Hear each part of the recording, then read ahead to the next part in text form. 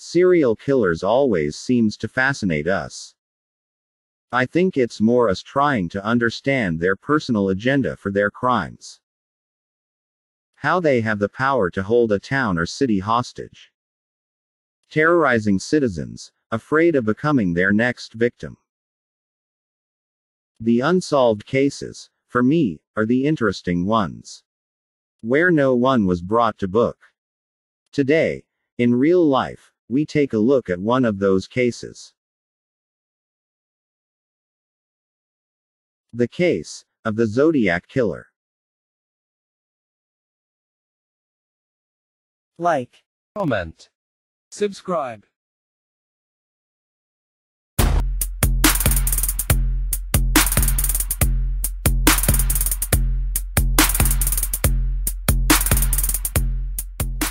He is a pathological uh, psycho uh, killer.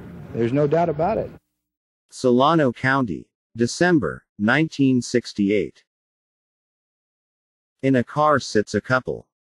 Doing what couples do best. Their names are David Faraday, 17, and Betty Lou Jensen, 16. Suddenly, and without any warning, David Faraday is shot in the head.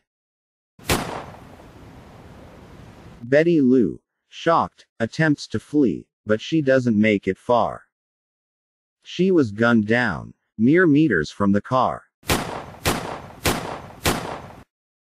Betty Lou dies instantly, but David was still alive, but in a bad way. He was losing a lot of blood. Even after rushing him to hospital, David was sadly pronounced dead on arrival. Blue Rock Springs. A body lays on the ground, covered in blood. In the car, a woman lay slump over the steering wheel. She'd been shot multiple times, and is barely hanging on. Their names Darlene Ferrin, 22, and Mike Mageau, 17. Darlene unfortunately dies.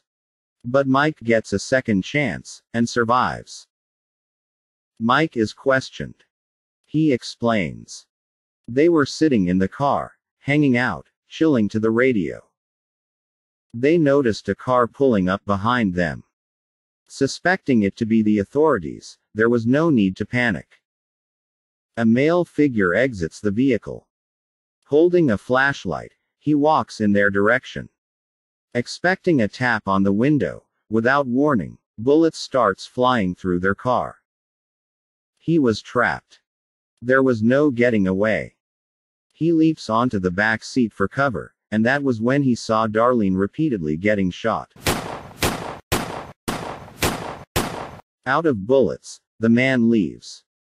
Returning moments later, he raises his gun, pointing it at Darlene, and shoots her two more times. He then points the gun at Mike, shooting him two more times, just to make sure. Napa, September 1969. At a lake, a young couple was hanging out. A masked man appears, holding a gun in one hand and a knife in another. After tying them up, the masked man attacks them stabbing the 22 year old Cecelia Shepard 10 times. Sadly, she didn't make it. She passed away due to her injuries. Bryan Hartnell, the male victim, survived and gave a description of their attacker. The man was approximately 5 feet 10 inches. He wore gloves and a full mask, carrying a gun in one hand and a knife in the other also noticing that he had the sign of the zodiac on display. The perpetrator left detectives a message, scribed on the side of a car door. Admitting to his crimes. San Francisco, October, 1969. Paul Stine, a cab driver, was instructed to stop at the corner of Washington and Cherry Street. Moments later, a shot rings out.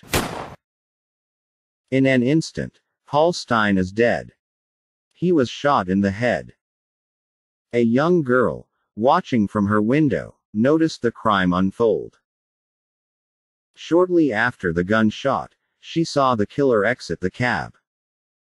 The man is seen wiping down the outside of the cab. He then proceeds down Cherry Street. Days later, the police gets a letter from the Zodiac. Just to prove that it was him, a piece of the cab driver's bloody shirt was also included with the letter. In his letter, he continues with his game, taunting and messing with the police. He writes, The San Francisco police could have caught me last night.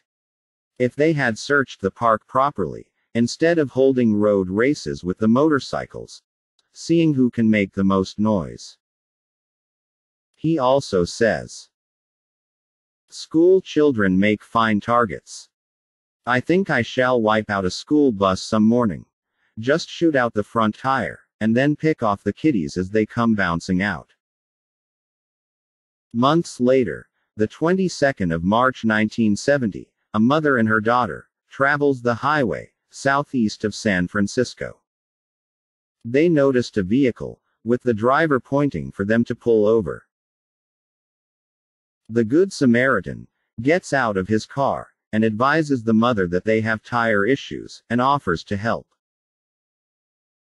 Not long after, it's fixed, and he allows the ladies to continue with their journey. A few meters down the road, the wheel pops off and is seen rolling away. Acting all confused, he offers them a ride. With the mother and child sitting beside him, he turns off the main road and ventures the back streets. Telling the mother over and over again that he was going to kill them. He makes a wrong turn and is forced to stop, giving the mother an opportunity to escape. The mother leaps out with her baby. She heads for a field and hides. After a quick search for the mother, the Zodiac leaves. A passing truck driver picks the mother and child up and takes them to the police station. At the police station, she sees a sketch of the man that had just offered them a ride. A suspect was on the police radar. The police received a call, advising them to have a look at Arthur Lee Allen. Arthur Lee Allen was questioned by the police. His handwriting was analyzed. Fingerprints and even his palm print was compared. But every time the test cleared his name. The Zodiac, I believe, for some reason, knew he would never be caught. Many believe that Arthur Lee Allen was the Zodiac killer. What do you believe?